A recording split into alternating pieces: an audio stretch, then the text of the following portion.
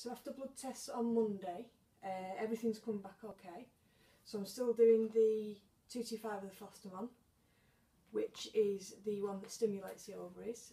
But I've now got to take oop, the Cetrotide, which is the one that actually stops me ovulating. But these already come pre-packed. Let me just remove my little helper. So we're on two injections now on a daily basis.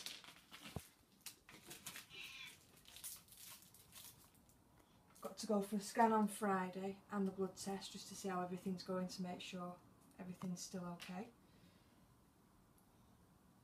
This one's a lot easier to mix than the other.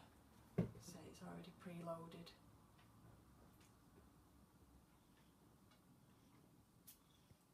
The only problem being now is I can't pick a side to inject because I've got two injections.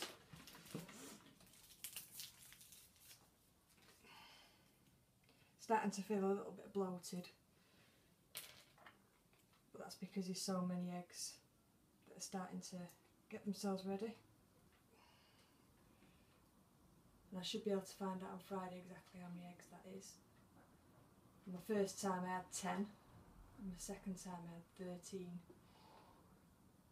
And 13 is a, a good number, not too many.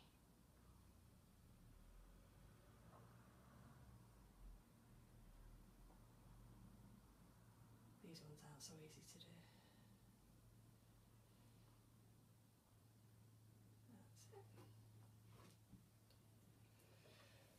That's it. I say no longer pick a side, it's uh, two sides to go, doesn't matter which side, which jug goes in which side. Just find a fatty bit. This one does tend to make my skin go red around the injection site for about half an hour afterwards. Nothing wrong with that, it's just I've got quite a sensitive skin.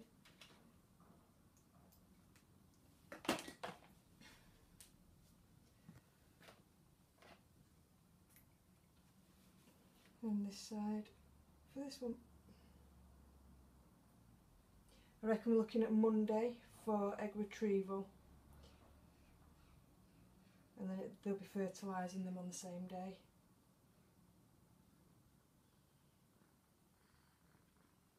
That'll be when I do my bit. Yeah, your easy bit. Right, so that's both injections done for today. Nothing else to do now until Friday until I have my scans.